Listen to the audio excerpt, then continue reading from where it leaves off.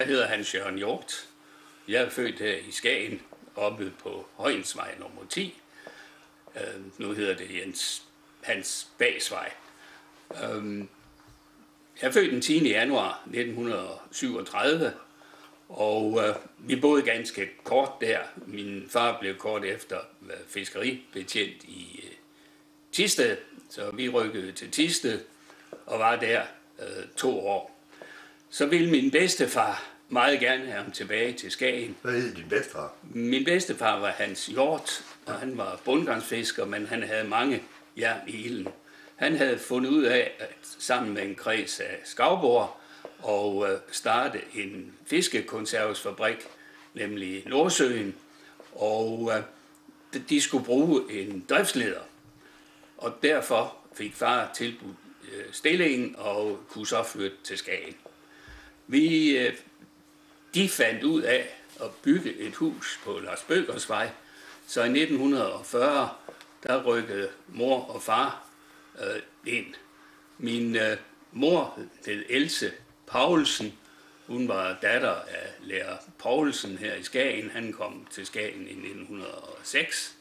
Og øh, hun øh, var den yngste af tre, øh, havde grønne fingre, så derfor blev der købt en dobbeltgrund på Lars Bøgers vej, så hun kunne få en, en stor have, som hun elskede at passe. Men ellers var hun meget bogligt interesseret, og øh, derfra fik jeg min store interesse for at læse bøger. Øh, jeg fik et herligt liv på Lars Bøgers vej. Der var mange børn. Øh, så mange kan jeg huske, at øh, komponisten Hagon Børsen kaldte vejen for frugtsommelighedens vej, fordi flere af damerne der var barn. Øhm, vi havde en herlig legeplads. Krigen husker jeg selvfølgelig på den måde, at vi havde beskyttelsesrum nede i kælderen. Det skulle man have med sandkasser øh, foran vinduerne og masser af forskellige ting, konserves og opmagasineres, så når vi skulle i ly for flyvealarmen, så kunne vi gå i kælderen. Hvor gik du i skole? Jeg, gik, jeg kom i skole som seks år. Jeg var meget ung, så det har været i, i 43, ja, øh, april 43. Og det var jo så på byens store skole, Kappelborg, ja. hvor vi øh, også havde en god skolegang, selvom der er til vanke en ørefine, hvis man var for fræk og, og uartig. Mine forældre havde en oplevelse med en, en, en tysker, øh, som øh, jeg da godt kan berette her, selvom det ikke er min egen historie. Øh, den foregår i, øh, det, det foregår i august 1940, hvor min mor er gravid og skal føde Gitte. Hun øh, kommer på sygehuset, og der er udgangsforbud, så man kan ikke få lov at komme øh, på sygehuset. Min far kontakter en tysk soldat, Herbert Bilz. Han var 40 år, og øh, han var her, fordi han talte svensk. Så han var tolk for tyskerne i Skagen. Øh, og han hjalp, så min far kunne få lov at besøge min mor. Ja. Øh, en nat i september bankede det så på vores dør, og øh, der stod Herbert Bils og siger på svensk, jeg måste gråta, den forbandede Hitler. Ja. No. Der havde han tilbragt natten med at læse lig no. fra øh, det skib, der var sænket her uden for Skagen, ja. hvor utrolig mange øh, østriske bjergtropper omkom. Og øh, de blev så ført til Skagen og i øvrigt ud på fiskemelsfabrikken, hvor de blev vasket, Nå. og så blev de transporteret til Frederikshavn, hvor de så ligger begravet Nå. i den store fællesgrav Nå. i Frederikshavn. Ja, den soldat, Herbert Bils, ja. han blev uh, sendt til Norge, og uh, jeg tror, han tolkede lidt forkert, fordi uh, han endte med at sidde fængslet af tyskerne i Oslo. Han overlevede krigen, Nå. Og uh, han levede jo meget, mange år. Han blev over, over 100, og Nå. vi har besøgt ham i, uh, i Lübeck Nå. efterfølgende, og han har været i Skagen ja. på, på besøg. Nå. Ellers husker jeg mest befrielsen. Der var den 4. maj om aftenen var vi i badmintonhallen. Nå. Far og mor var ivrige badmintonspillere, og øh, jeg var med som lille knægt og kiggede ja. på, og pludselig bliver døren i gavlen slået op, og en eller anden råber, Danmark er frit. Og så var resten jo altså kaos. Ja. Øhm, jeg fik ikke lov at komme i skole dagen efter. Det mente far og mor var for farligt. Ja. Øhm, jeg fik lov at komme med op på loftet, og øh, vi stak en flagstang ud af, af, af vinduet med et, et, et lille flag på, og øh, markerede på den måde Det var så hen på, befrielsen. Det var den 5. maj. på Lars Bøgers vej. På, det var på Lars Bølgers ja. ja. Nummer, nummer 24. nummer 24. Kort tid efter, der hørte vi drenge knægte, at øh, der nede på banegården stod nogle åbne øh, vogne øh, forsynet med de ting, der øh, var taget fra tyskerne ude på Grenen og andre steder i Skagen. Og øh, det kunne vi jo ikke lade gå uhørt hen, så vi øh, får ned og stjal det bedste, vi kunne. Det gik selvfølgelig galt, fordi politiet kom jo så dagen efter øh, og konfiskerede øh, bajo- bajonetterne og, og, og pistolerne. Vi fik lov at beholde øh, lædertøj og, og, og stålhjelme. Øh, Kurt Købstad, han havde dog gravet våbnene ned i deres have. Øhm, desværre fandt han dem aldrig igen. Så der er en have deroppe på Lars Bøgers vej, hvor der ligger nogle tyske våben Nå. den dag. Ja, det må man da Ja, det regne med. det, ja, det må det gøre. De er aldrig blevet fundet. Nå, Jeg var ellers øh, sportsmand øh, og øh, satte gadens børn i, i gang med forskellige sportsaktiviteter. Jeg købte et stopur, så vi løb 50 meter løb op og ned af Lars Bøgers vej og rundt om Karreen. Og jeg opfandt et primitivt spil, cricket, som vi spillede ude i vores gode baghave. Jeg traf for mange år siden øh, Åge Venø, ja.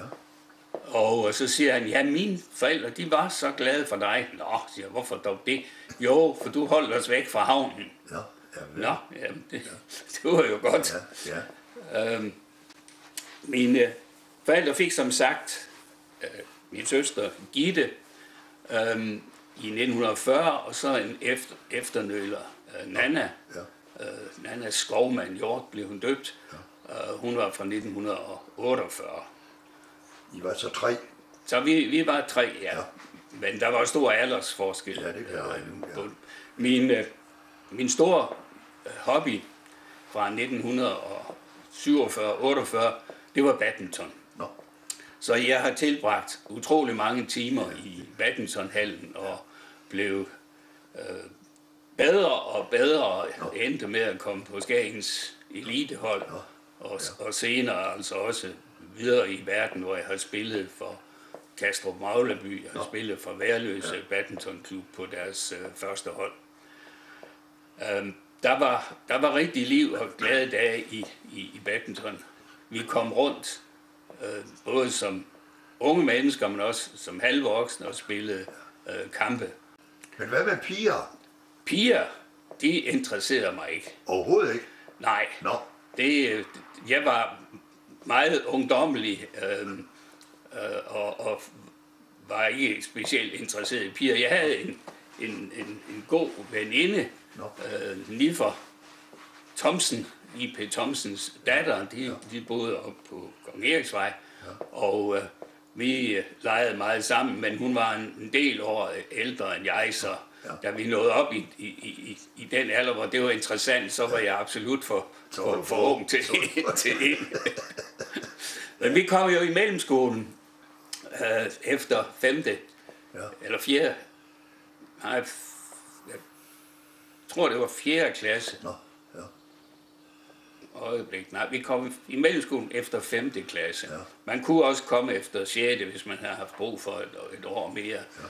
Så der var vi i en klasse med 33 øh, elever.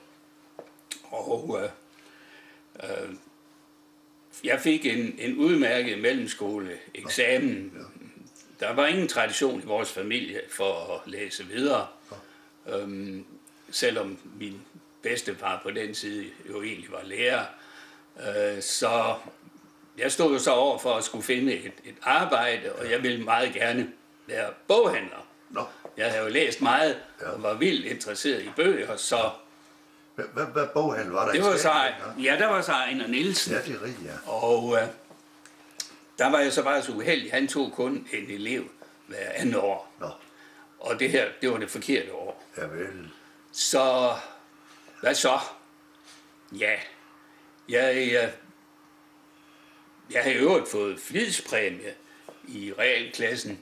Den fik jeg overragt ned på borgmesterkontoret øh, af, af borgmester A.M. Nielsen. Ja. Det var en sparekassebog med en 50 kroner Uh, ja. i. Ja, Det var meget. penge. Ja, Øhm, men øh, kommunen skulle bruge elev. Kommunen havde øh, hvert år en elev, og øh, så jeg blev ansat som elev og fik en treårig uddannelse øh, ved Skagen Kommune. hvem, hvem var kommunaldirektør? Ja, det var fader, Nå, ja. og Husøj var hans, øh, Var, var, hans var, fuldmægtige. du, du var så nede på Splidsvej. Ja, Ja, det, det var jeg i, Ja. i det, der nu er, ja, er ved at blive bygget om til et eller andet mærkeligt. ja. Ja, der var både kommunekontor og socialkontor og Borgmesterkontor. folk, folkeregister, Ja. ja. Og, så, og så lå teknisk forvaltning. Ja. Jeg var så nede på kommunekontoret og kom rundt. Det var en rigtig god uddannelse, fordi man kom rundt i alle kommunens ja. afdelinger. Jeg husker en par sjove episoder. Den ene var, at man blev som yngste elev sendt op til Skagens Bank en, en gang om måneden, fordi man skulle hente pengene Nå. til kommunens lønninger. Ja. De blev udbetalt i kontant i sådan nogle små poser.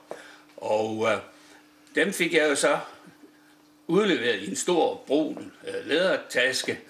Ja. Øhm, og så gik jeg lille knægt ned af St. Laurentievej ned til Splidsvej med de her cirka 300.000 kroner. Øhm, øh, og det var jo virkelig fredens tid, fordi de, de, de to kasserer, de stolede så meget på hinanden, så skulle der være talt lidt forkert det ene sted, ja, så ringede man bare sammen, af, og så fik man rettet op på det. Og da mindes jeg en dag midt på gaden ud for Clausens Hotel, der sprang taskene op, og, og de, nogle af de her poser med Penge. øh, 1 kroner og 2 ja. kroner, de faldt ud på, på vejen, så jeg måtte jo altså Ja, samle, samle mønter op der. Der var meget orden. Kommunen, jeg kan illustrere det ved, at man skulle have et nyt pengeskab. nå, Øh, en stor penge, en stor boks blev frisid, fri af, af muren og transporteret væk. Og så fandt man ned bagved, der fandt man jo altså en kuvert, en lønningskuvert med øh, øh, nogle penge i.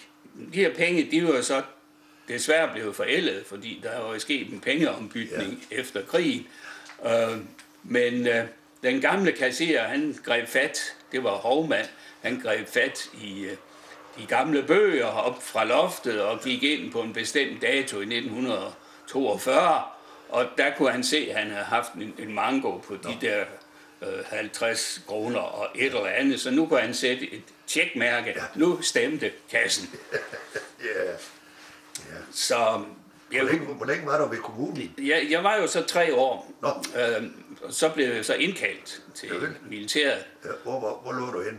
Ja, i, i første omgang kom jeg til Viborg, Nå, til uh, 3. Uh, regiment. hed det hed Prinsens? Ja, prinsen. Jeg kom jo så i, i hård træning. Efter seks uger, så blev vi udtaget til, eller blev jeg udtaget til forskole sammen med andre, og så var træner, træningen endnu, endnu hårdere. Ja. Så efter øh, tre måneder blev jeg så udtaget til at være sergeant, og blev sendt på sergeantskolen ved øh, Kronborg, Nå, hvor vi så fik vores sergeantuddannelse. Øh. Ja. Og øh, der mindes jeg blandt andet, at jeg har gået vagt på bastionen med Kronborg og skulle blandt andet hilse på skibene, når de sejlede forbi, så skulle man hejse det store splitflag ned, som hang på Kronborg, Nå. Og, og, og, og skibene, de skulle så kvittere med en hilsen tilbage til, til Kronborg.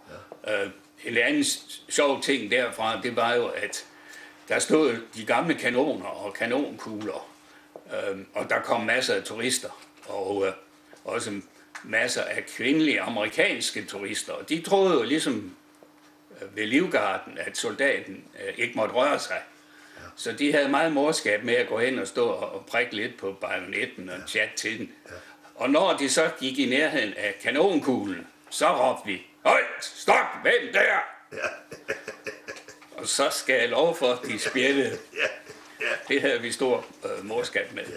Men øh, jeg blev uddannet kommandobefalingsmand, og det var, var jo nok, fordi jeg var ved kommunen, så de mente, jeg havde noget forstand på, på papirerne.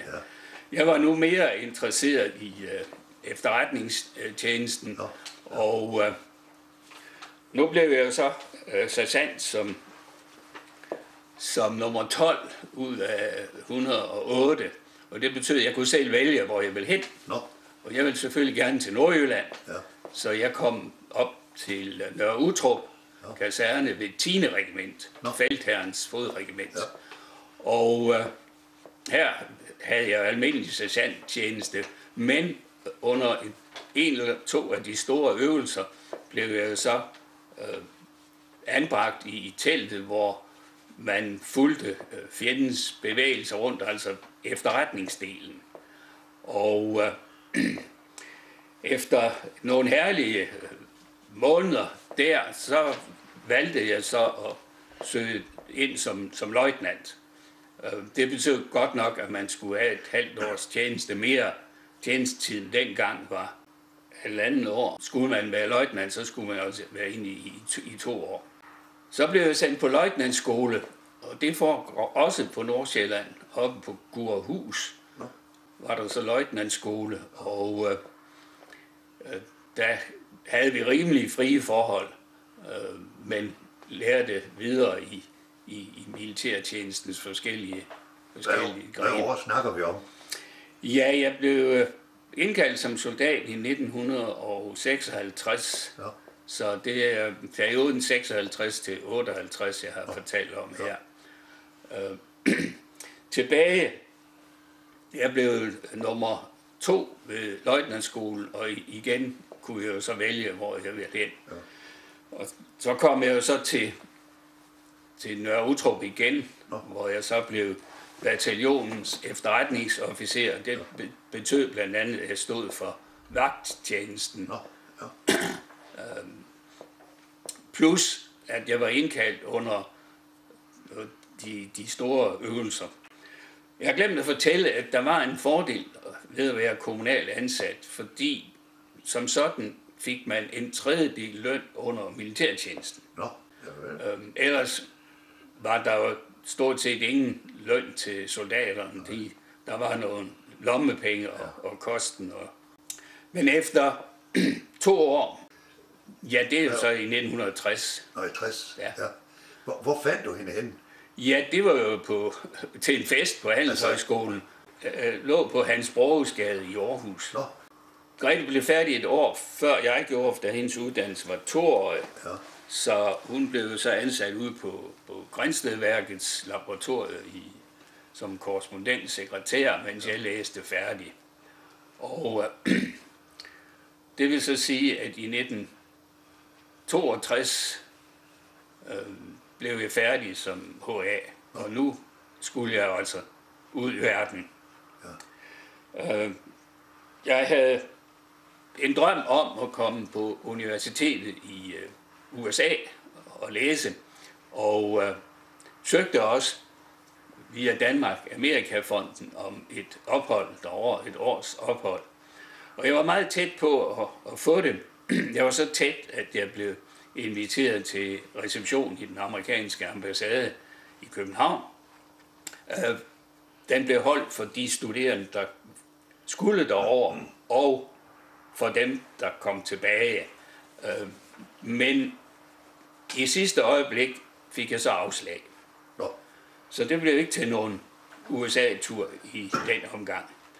Øhm, jeg skulle jo så finde noget nyt at lave, og øh, det var helt sikkert, at jeg gerne ville til København. Så så jeg et opslag i Berlingske og i Jyllandsposten, en meget mærkelig stillingsannonce. Dansk Institut for Matematikmaskiner søgte koder. Og så stod der forneden, at de, søgte altså også af de uddannelser, så kunne man altså også bruge HR og ingeniør og jeg ved ikke hvad. Øhm, det lød spændende. Det havde noget med tal at gøre, og det var jo min store interesse.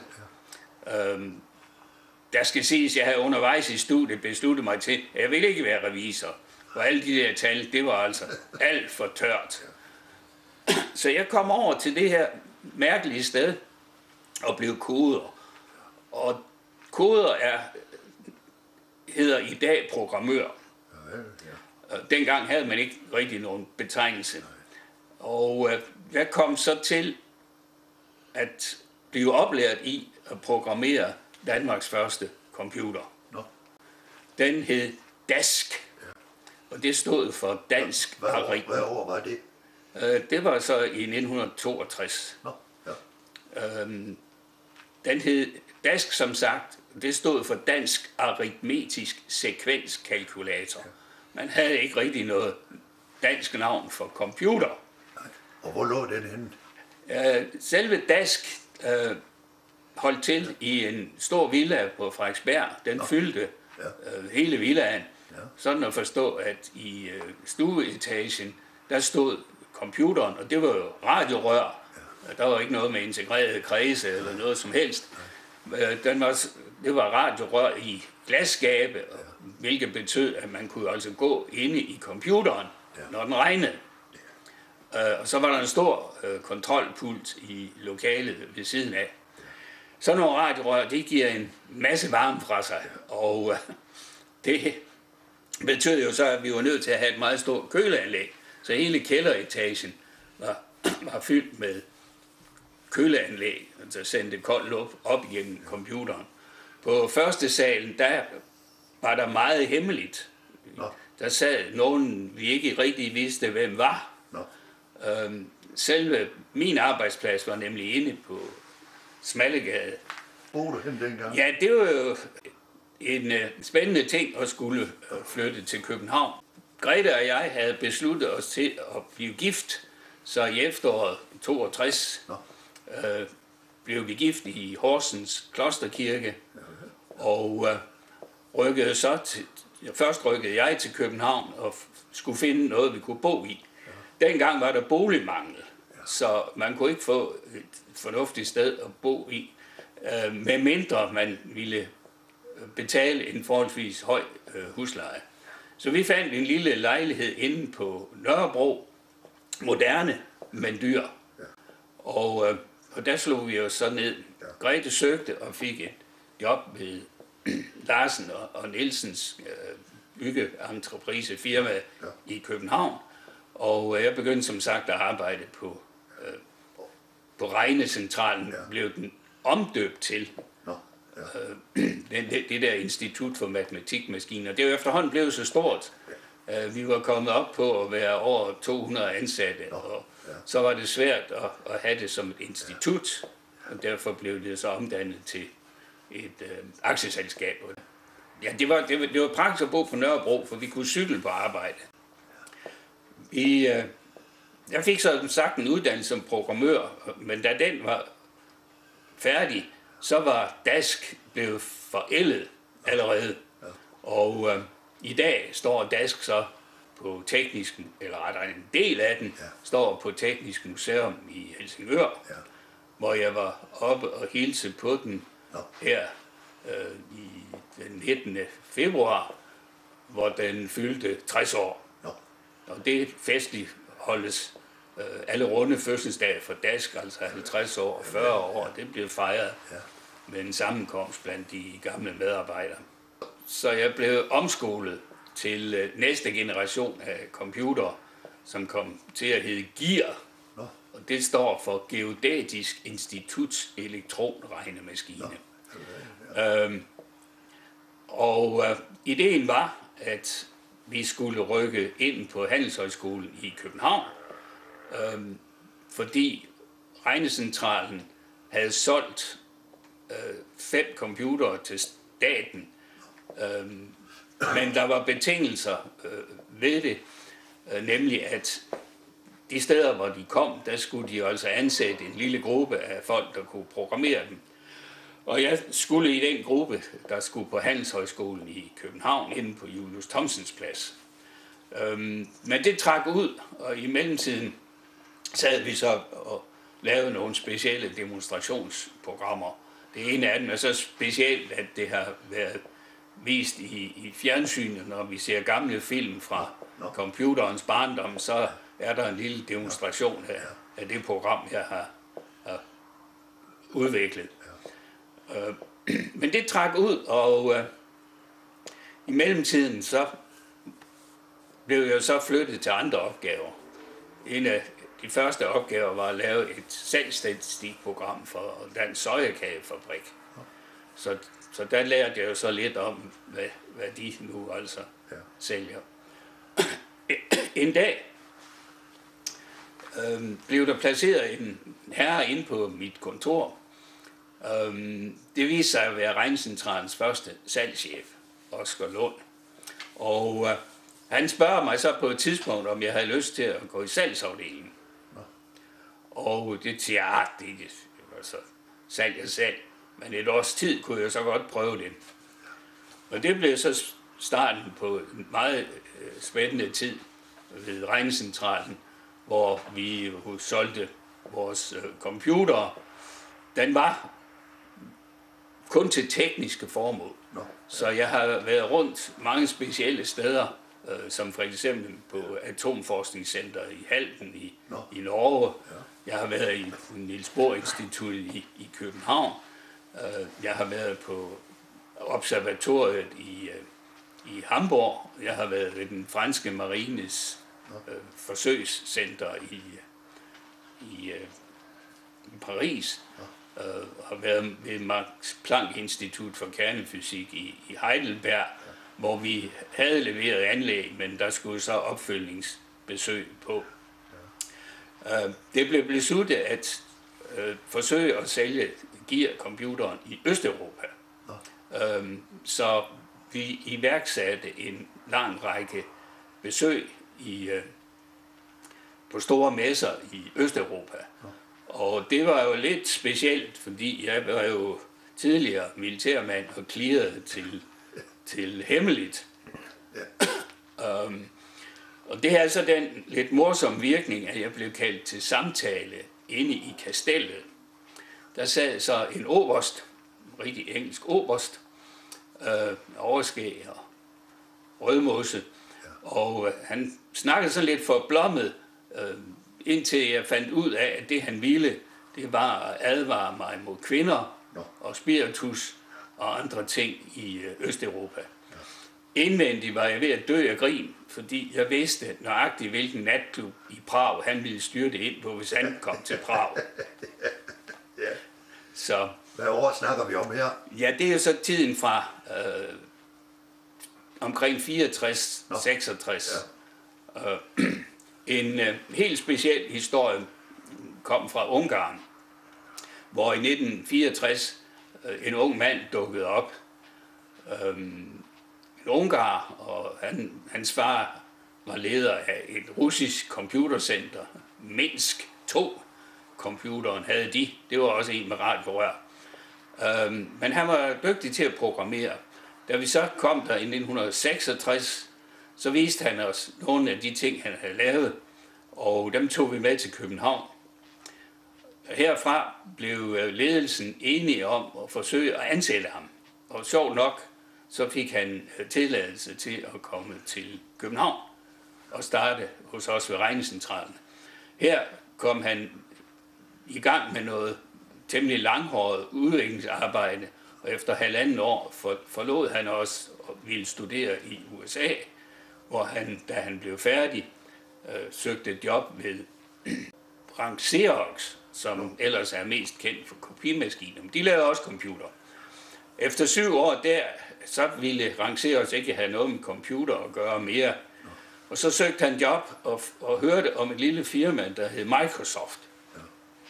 Og der blev han så ansat som medarbejder nummer 27, og øh, kom til at stå i spidsen for de grupper, der udviklede Word og Excel. Så han hedder Charles Simoni, og øh, han blev øh, ekstremt velhavende af det. Øhm, og for en del år siden inviterede jeg ham til at komme på besøg her i Skagen. Ja. Øhm, og det gjorde han så også. Så han lagde til ham med sin store lystjagt, Nå. kaldet Skat. ja. Det er det. Øhm, den, øh, den hedder Skat, fordi da han kom til København som ung mand, så var der jo en del piger, men han kunne ikke udtale deres navne. Så de blev alle sammen kaldt Skat.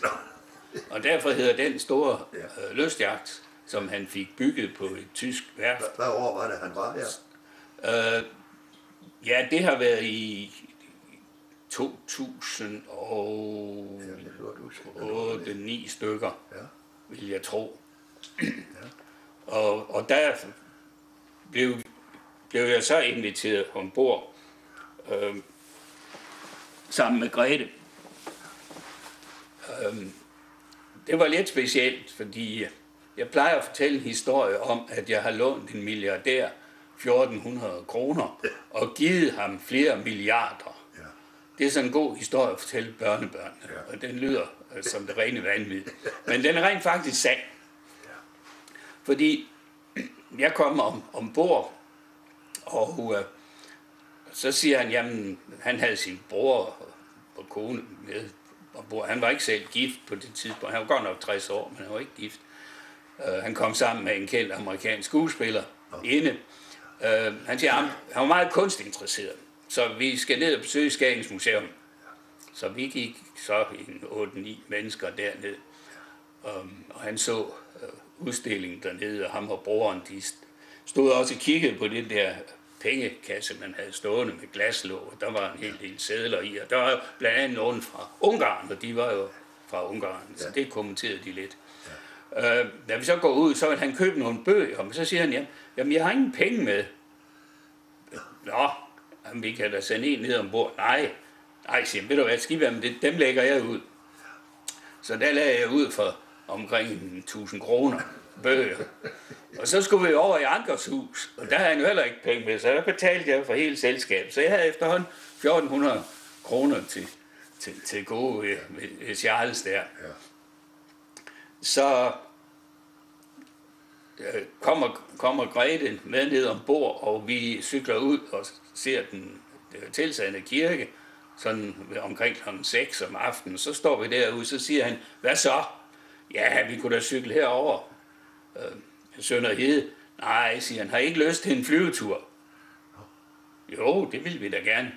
Tilbage til, til båden, og så kom vi så op i hans helikopter, som var oppe på dækket, hvor han så øh, selv var pilot, men der var så en co-pilot. Så Grete og jeg, vi fik en herlig flyvetur rundt om Skagen, og også rundt her og op over huset, hvor vi, hvor vi sidder nu. Så om aftenen var der jo så øh, middag ombord. Han havde en dansk kok, Nå. og øh, det var særdeles luksuriøst udstyret, det her øh, skib med swimmingpool og eget træningscenter og dansk designede møbler og jeg ved ikke hvad. Øhm, og så siger vi til Grete, hvad søren skal vi dog give ham? Vi har jo set, at han havde en vinkælder øh, ombord, øh, så det nødte jo ikke rigtig noget. Og, og, og blomster, nej, hvad kunne vi dog finde på? Så ville skæbnen, at jeg havde samlet på pengesedler Nå, og øh, havde en lille samling af ungarske pengesedler. Og de havde ligesom Tyskland haft inflation, sådan at der stod en hel masse nuller bagefter tallene. Ja. Så jeg pakkede min samling sammen og, i en pæn mappe, og den gav jeg ham så, og den indeholdt adskillige milliarder forrent. ja, Så det er helt sandt, at jeg har foræret milliardær flere milliarder. ja. Så vi havde en, en, en herlig aften. Senere har jeg øvrigt haft kontakt med ham. Det var, da han holdt ferie, Nå. og han tog selvfølgelig ud i rummet ja. på ferie. Han betalte for en tur øh, med en russisk raket ud i rummet, og undervejs kunne man så komme i kontakt med ham. Så jeg sad her på Skagen og var i kontakt med Charles Simoni ude i, i rummet. Ja. Så han var en speciel herre. Ja. Nå, lad os vende tilbage til virkeligheden. Ja. Øh, Efterhånden havde Grete og jeg jo så fået to piger. Nå. Den ældste, Lisbeth, og øh, yngste, Mette Lene, og var flyttet fra Nørrebro og havde købt hus ude i Ganløse. Ja. Dengang gik inflationen så hurtigt, at når man fik sparet op til en udbetaling, så var den allerede for lille. Ja. Hvad år, hvad år snakker vi om her? Ja, det er, det er så været 1966. Nå. Ja. Øh, Så vi, vi måtte simpelthen rykke så langt uden for København, øh, som pengepunkten den nu korrekt til. Så vi endte i en lille landsby, men i et, et relativt nyt hus i øh, Ganløse. Og øh, det var så der, vi boede de næste øh, syv år. Øh, men efterhånden rejste jeg jo meget rundt i Europa og besøgte og solgte computer og elektronik. Og øh, på et, på, et, på et tidspunkt, så var det næsten sådan, at, at mine piger ikke kunne kende mig mere. Og der måtte jeg jo så træffe en beslutning om, at jeg ville være international salgschef øh, fremover, øh, uden børn og uden kone formodentlig, øh, eller så tog det valg at skifte job. Ja. Så jeg søgte øh, ind til en... Ja, jeg har glemt at fortælle, at i, i, i tre år øh, undervejs, der tog jeg så også en HD-eksamen på Handelshøjskolen i København. Øh, så, så jeg blev kendt mærk. Øh, og det betød så, at Handelshøjskolen skulle starte en øh, gruppe, en, et managementcenter. Og, øh, og det søgte jeg så stilling i, og jeg var stort set den eneste, der kom udefra til den her gruppe. Vi var en gruppe på otte, hvor de syv kom fra Handelshøjskolens forskellige institutter. Vi fik helt vores egen afdeling placeret på Østerbro på Livjærgade med egne kontorer, og det hed så Institut for Ledelsesforskning. Og her var jeg så i, i to år og lavet nogle undersøgelser af efteruddannelse af, af ledere i Danmark. Men altså, det akademiske miljø, det var altså ikke lige mig efter den spændende tid, jeg har haft som, som øh, omrejsende salgschef i det private erhverv. Så efter to år, øh, så ville vi gerne til Jylland. Øhm, og jeg søgte forskellige jobs i Jylland, men endte med en øh, stilling som direktør for et mindre EDB-selskab i Odense. Nå. Ja. Og, øh, og det betød jo så, at familien måtte Flyt til ud. flytte op, og lige mens et, et år før vi flyttede, øh, det har så været i 72, blev Thomas født, Nå. Ja. og, og i 73 øh, flyttede vi så til Odense, Nå. og vi øh, købte en, en villa ude i Korup, noget specielt villa med udendørs swimmingpool, Nå. og, og, øh, og, og var så der i øh, de næste 4-5 år, hvor jeg så øh, drev et EDB-firma i Odense, som var ejet af re- revisorerne i Odense. Nå. Ja. Og vi var en 25 mand, og vi lavede simpelthen regnskaberne færdigt for, for revisorerne. Plus, vi havde mange andre specielle kunder, blandt andet har Nyborg. Øhm, og øh, vi var på Fyn her i sidste uge. Jeg kom forbi markerne med Aspars, og jeg kom til at tænke på, at vi havde også et Aspars-program, som man brugte til afregning af Asparsen øh, til, til avlerne. Så det, det program, det blev brugt de der 6-8 uger om året, når der var Aspars avl. Men øh, en, en, en, en spændende, spændende tid, men familien faldt ikke rigtig godt til i, øh, i Odense. Vi var nok kommet til at bo det, det, det lidt forkerte sted. Det var en, en hel del uden for byen. Nå. Ja. Så, men så var jeg så heldig eller uheldig, at mit firma blev solgt øh, en af ejerne dukkede så op på mit kontor og sagde, at nu havde jeg lige et valg, og det jeg skulle træffe beslutningen stort set her og nu. Ja. Altså jeg kunne enten blive fyret med det varsel, jeg havde, eller også kunne jeg rykke med over i det nye firma, hvor der var en stilling til mig. Nu vidste jeg heldigvis, hvad det var for et firma, der havde købt os, og dem kendte jeg vældig godt. Så jeg sagde ja til tilbuddet om at flytte med der, hvad jeg så aldrig har fortrudt. Det var et firma, der hed Jysk Datacentral, og det lå i Vejle. Jysk Datacentral havde specialiseret sig i programmer til autobranchen, til handels- og industrivirksomheder og til revisorer. Og de havde købt to firmaer foruden det her i Odense, et i Haderslev og et i København. Og jeg kom så over og skulle stå for at smelte de her tre øh, firmaer, som alle sammen arbejdede med revisorer, smelte, smelte dem sammen til en division. Så det betød så, at nu rykkede vi teltpælen op igen. Og hvad sagde, hvad sagde fruen til, til, at flytte som ejer? Hun ville gerne til Jylland. Nå. Og hun havde ikke været glad for at være på Fyn. Nå. Altså, ja, som vi sagde, vi faldt ikke rigtigt til. Så passede det jo fint. Så det passede fint. Ja. Og hendes forældre var desværre på det her tidspunkt døde. Så, Men børnene, de måtte så flytte skole. Ja. Sådan. og, og børnene skulle flytte skole, så derfor valgte vi at spørge os frem i Vejle, hvad, hvilken skole var den ja. bedste. Og den kom vi til at bo så tæt ved, at børnene på et par minutter kunne gå over i skole. Ja. Og det var en god skole. Så de fik alle sammen en uh, fornuftig skolegang. God uddannelse. God uddannelse ja. fra den skole. Ja. Som hed Mølholm skole i øvrigt. Nå, ja.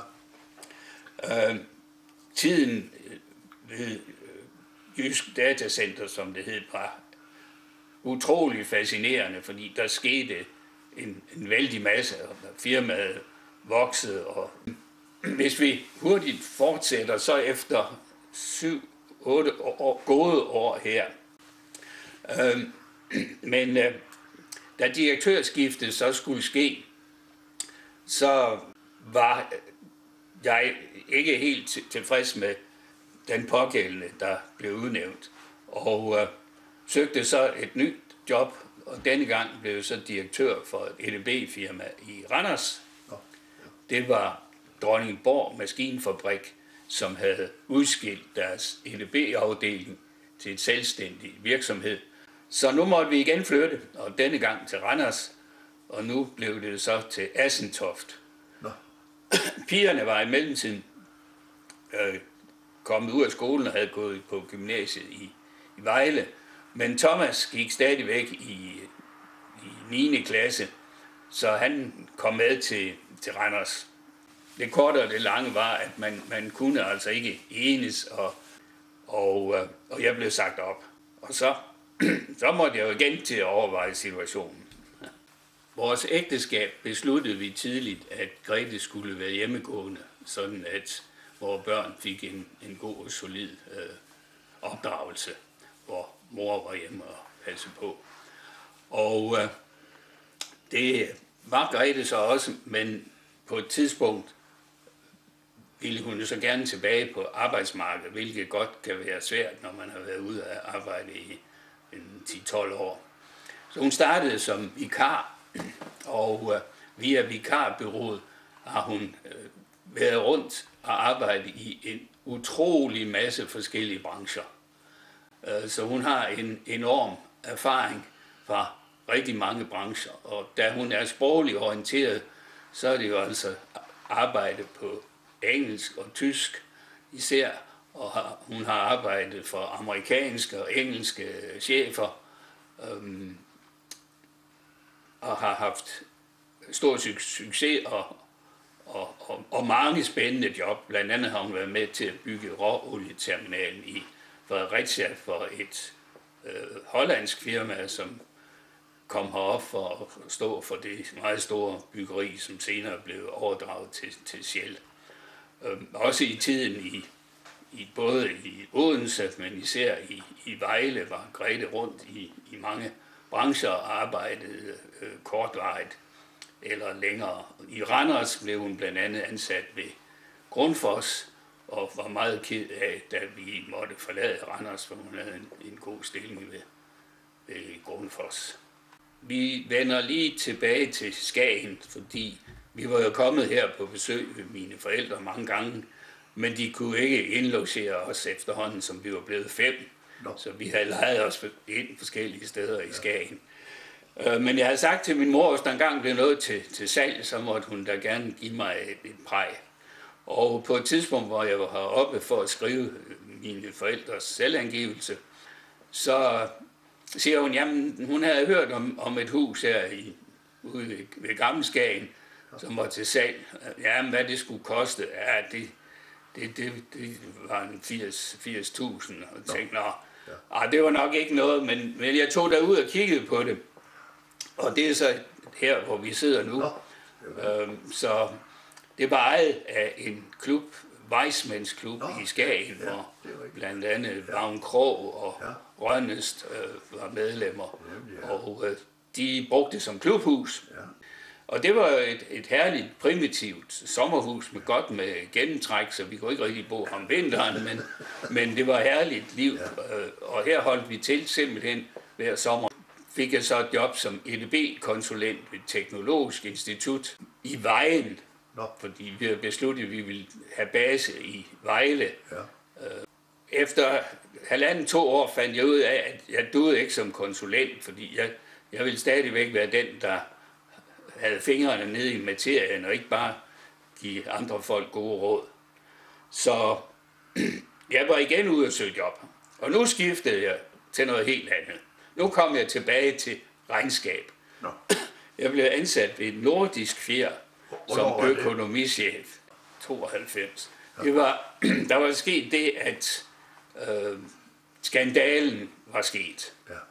Ja. Øh, nordisk fjer var gået nedenom og hjem Johannes Petersen havde begået selvmord, selvmord ja. og øh, han havde bedraget øh, banker og ja. aktionærer og ja. mange andre for ja. flere milliarder kroner. Ja. Ja. Efter en 4-5 måneder kørte virksomheden så øh, fornuftigt og blev sat til salg. Og øh, der kom to bud. Det ene var fra en dansk virksomhed i, i, i Sæby, øhm, og det andet var fra et hollandsk firma.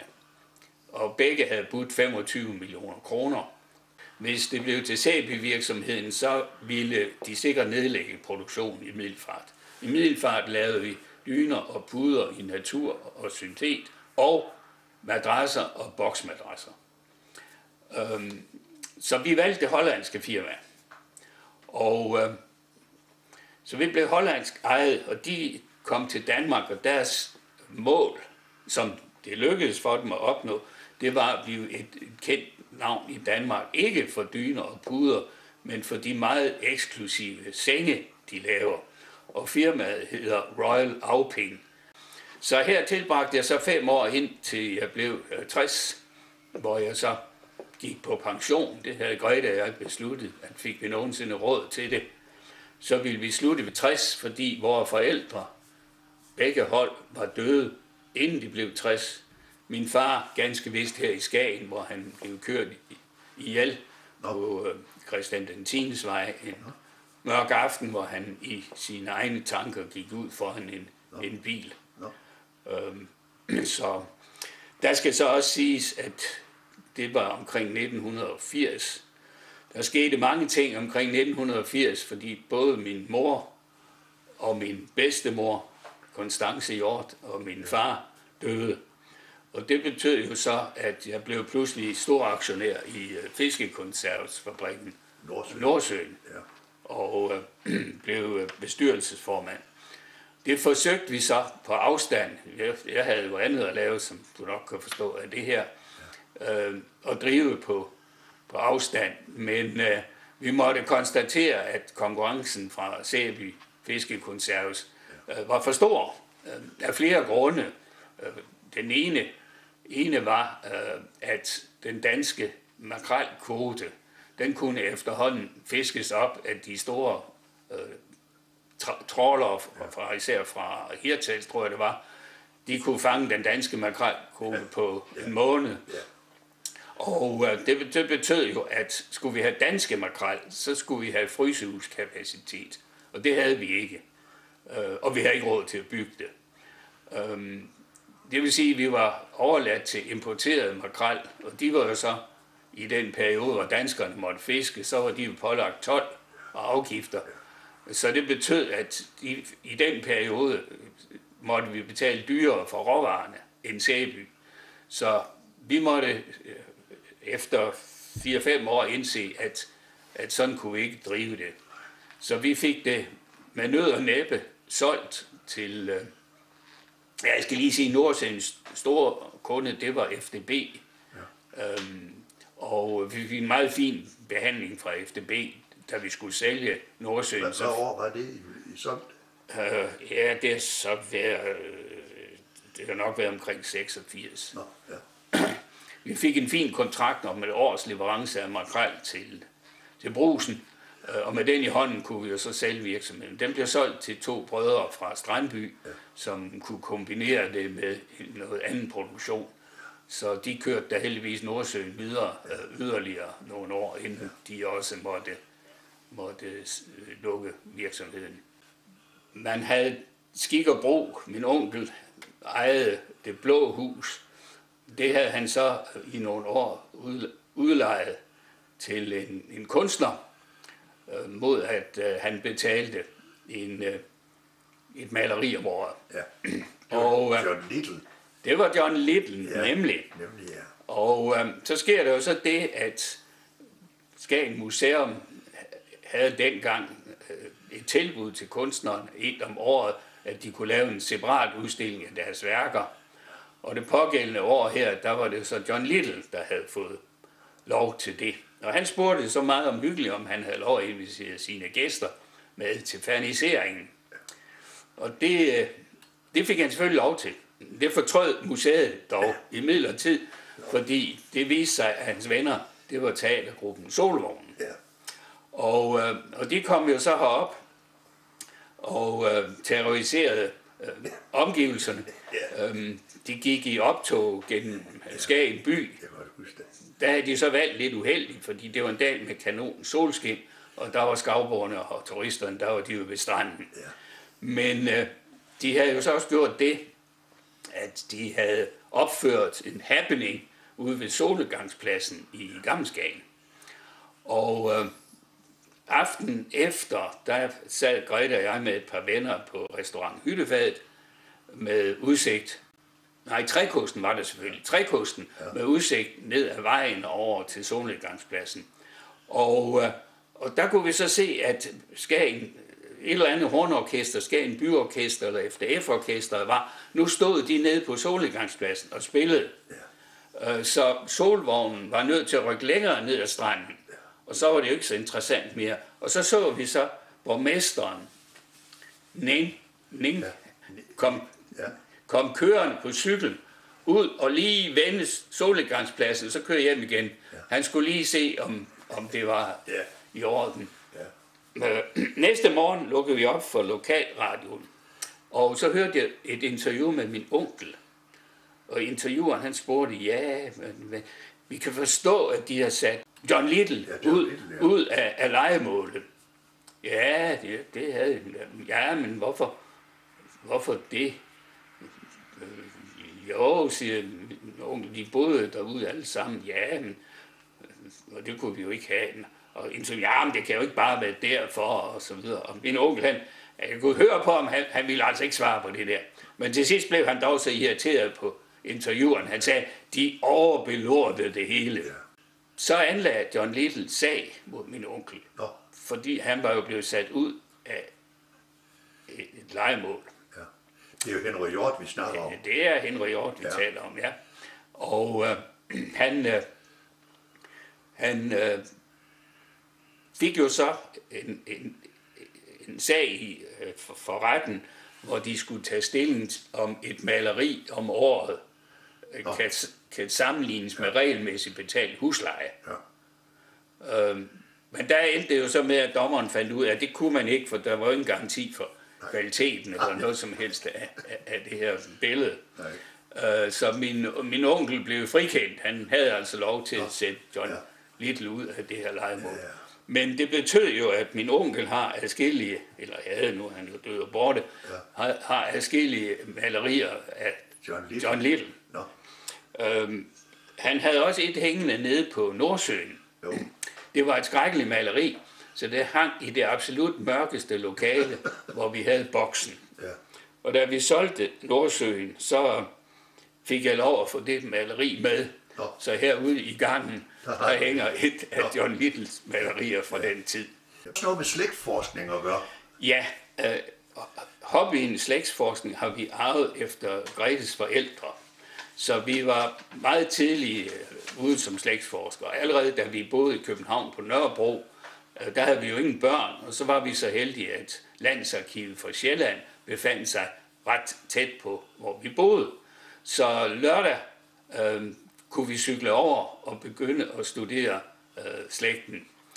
Og, øh, og det har vi jo så fortsat med øh, i forskellige øh, anlægninger. Blandt andet, da vi øh, kom til, til Vejle, var vi med til at starte Vejle Slægtshistoriske Forening, som jeg så også blev formand for. Og vi har fortsat slægtsforskning også efter vi øh, kom til Skagen, øh, hvor vi var med til at starte øh, Slægtshistorisk Forening for Skagen, som nu desværre på grund af, at vi ikke er så mange. Og Hvornår kom I her til Skagen? Ja, vi, vi øh, havde så... Vi blev pensioneret, da, da jeg var 60. Ja. Så havde vi en, en, en fem år, hvor vi pendlede frem og tilbage, så vi hver halve år var her i Skagen, og hver halve år i, i Vejle, hvor vi havde en lejlighed. Øhm, men vi besluttede så, især Grete ville meget gerne til Skagen, at hvis vi kunne få solgt lejligheden, øhm, så kunne vi bygge sommerhuset fuldstændig komplet om, så vi kunne bo her hele året. Ja. Så for 11 år siden Nå. kunne vi rykke ind her i dette dejlige sommerhus, som vi sidder i nu. Ja. Og øh, vi har jo tilladelse til at bo her hele året, ja. fordi vi har haft det i alle disse ja. mange år, ja. og er pensionister. Og hvad, hvad får I tiden til at gå med nu? ja, nu får vi jo tiden til at gå med, at Grete har taget øh, en uddannelse som guide for krydstogsskibene, ja. så i år, hvor der jo kommer over 40, så er hun rigelig ja. at se til med det. Hun uh, har som hobby at knible, ja. uh, og laver mange fine kniblerier ja. til, ja. til børnebørnene. Hvad, hvad med dig? Selv uh, går jeg caddy på golfbanen. Nå. Uh, jeg, jeg kan jo ikke se så godt mere, Nej. men til gengæld, så kan jeg jo godt gå og slæbe en, ja. en, en vogn med, med golfkøller efter, efter de andre. Derudover har jeg øh, læst, læst meget, øh, men det er, er jo så slut nu. Så derudover er det jo utroligt, hvad der er i Skagen af aktiviteter, foredrag og det ene eller andet. Vi er jo medlem af både den museets venner og kystmuseets venner og, og øh, mange forskellige... Hvad synes du om Kampenborgskolen, den vil lave om her nu? Som det, resultatet er blevet, er, synes jeg, at det er blevet vældig godt. Nå. Jeg var godt nok mere tilhænger af sneglehuset. Var du det? For jeg synes, det kunne have været sjovt at få så, sådan en, en bygning, ja. Du er næsten den eneste, så. Ja, det er jeg nok, men det skal da være ærligt at sige det, ikke? ja, ja, men det synes jeg er. Det synes men jeg er øh, jo, det, jeg synes, det er vældig fantastisk, øh, det man har fået ud af Kampborg. Og alle de aktiviteter, hvor vi jo ja.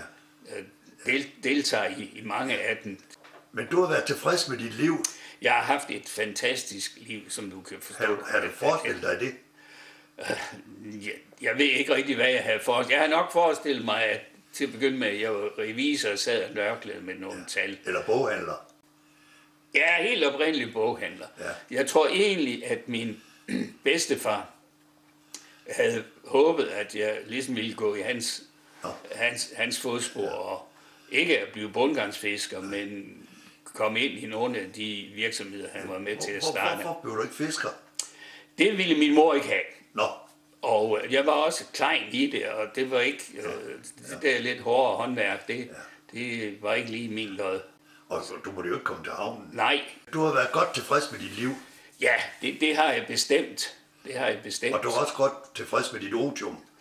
Ja, altså jeg, det, det, kom, at, det kommer lidt bag på os, at da vi var kommet til Skagen, så kom vi til at tilbringe en hel del tid på Aalborg sygehus. Nå. Fordi Grete fik kræft.